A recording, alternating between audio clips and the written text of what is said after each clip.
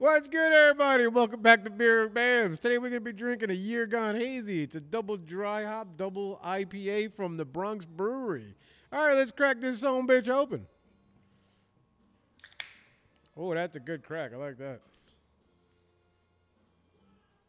All right, I'm liking that color. It's looking good.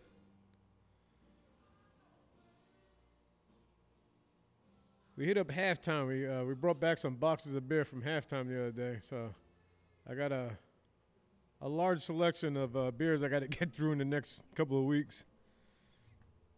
Woo! I like this. Got a nice head on it. Hell yeah! Right?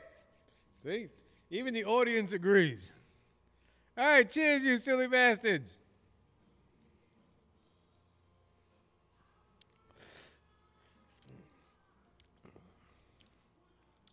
That's probably one of the better IPAs I've ever had. You know, I uh, we do like Bronx Brew. We met these guys a long time ago when they think they were in their original spot when they first opened up in the Bronx. Love the guys. Guys are good, good people. Great brewery to make really good beer. All right. Well, that's going to conclude this episode of Having a Beer Bamms. Always remember, old beer is good beer. Cheers.